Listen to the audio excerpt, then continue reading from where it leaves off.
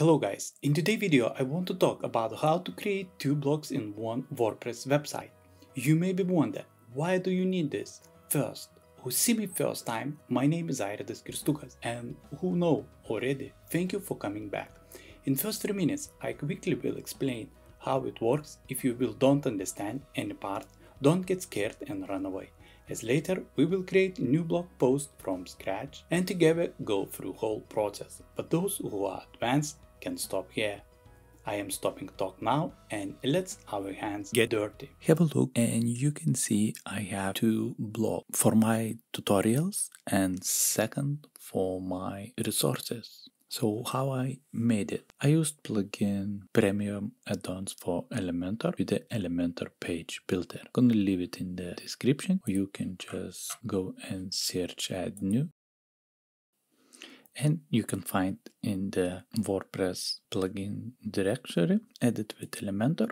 I press on the sign and this is the plugin settings. So I have a classic, I can have a modern if you want, this kind of thing, but I like classic more. You can have a grid or you can have normal one, I like grid ones. Layouts, event or masonry, so that would be all mixed up. You pick how many columns and how many post you want per page. The most important things is query. So here basically sources posts as you can see and I have to exclude categories, iReteam, animation or anything I put on the resources or ideas, edit on resources. Uh, you go to check query and here as well post. You can have pages, landing page, other things and exclude categories. I'm excluding tutorials. Display option, you having zoom in effect. I'm showing actually the future imaging, what you're seeing here. Post options, I don't have any. I don't want any tags or outer. As you can see, it's clean, but if you want, you can enable and then it's gonna be some information, advanced settings. We have links to a new tab, so want when it press would be open on new page, but you can disable this. And carousel pagination, I don't have any, but you can turn it on. Makes sense to turn it on anyway. You can adjust previous page, previous, next is next, and update. If I'm gonna go on a post, you will see my pages all made, and we have different categories. Gonna go on the page, edit. You have a section categories, and here I'm selecting resources, teams in this scenario, and Astra team or have other one for tutorials and then different tutorials. Let's say I made few for the same like teams, IRE theme, Astra theme, and add another one subcategory. Add new, for example, and then you can pick in parent. So let's say resources, or you can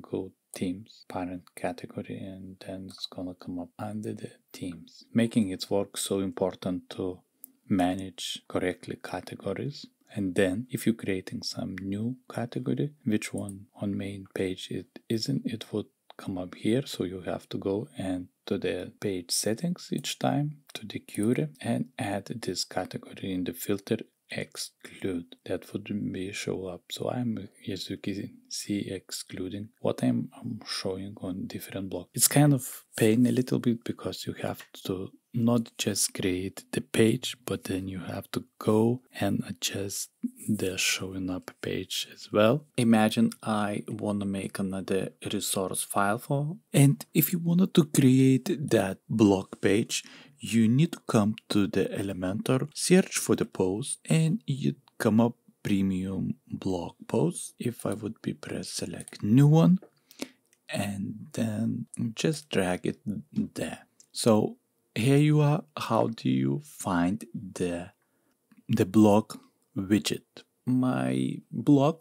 So how i would be creating? I'm gonna start from scratch. I'm gonna show you all the process. I would go first to the post page and then i'm gonna go and find the want file resources vp forms or any which one is from that blog and then i would copy and you can see I have now WP Forms draw. Press edit, change the name and then slug. Press on the button get it now, edit. Go to the blog URL, select, copy, come back and paste and press enter. Watch tutorial, edit, delete, as I don't have yet tutorial, I gonna post the link when I gonna create one. Just gonna press the hash. Delete this one. I don't need this picture. Remove the block. Edit again. I just would come to the page and copy and then make a screenshot. Go to the paint, paste, crop, file, save, png,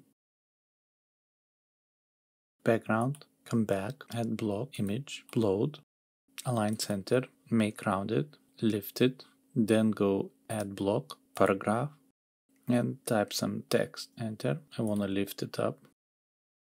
I want to align center, looks good. Then go to the post. That's gonna be resources. Add new category. Parent category gonna be resources. And new category name premium add-ons add new category and I have to disable WP forms from which I'm copying so I like what I see publish publish view post we have to replace this edit post premier block widgets update uh, go back to the post, replace the image, upload file, select. This one I pre-made premium block featured image, open, copy, paste, paste, set featured image, update, refresh.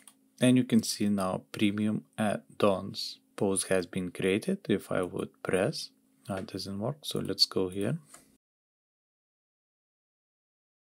You can see premium add-on. If I would press, you could go this one premium compared with Sendinblue. After we had made the post, if we're gonna come back on the main page and in the category menu, you could see that premium add-ons button appeared and what we don't like. So this or the query, it works brilliant to filtering the post, but it doesn't filtering category. So if you wanted to keep category, you have to each time to come and add manually here one. So I gonna go and gonna find the premium add-ons and you can see it disappeared straight away. Update. So keep in mind if you wanna just filter the post, it would be enough for those posts use just resources. If we're gonna go in our other blog, you can see that in the query option, I just filtering tutorials and it worked perfectly. If I would like to add as well categories as in here. That would be as well i would have to come to that filter and manually filter every category which one i would be wanted to show up on this page. Final summary would be I had showed how to make two blocks in one WordPress site by using categories filter and display on any page using Elementor Page Builder plugin premium add-ons. Another way is to make by using custom post types so don't forget to subscribe and click on the notification icon and then when the new video will be released, you would immediately find it out. Meanwhile, I would love to hear what you think about the content. Just drop the comment below and share your thoughts. If you get any benefits, please don't forget to like and subscribe to the channel. Thank you and bye bye to the next time.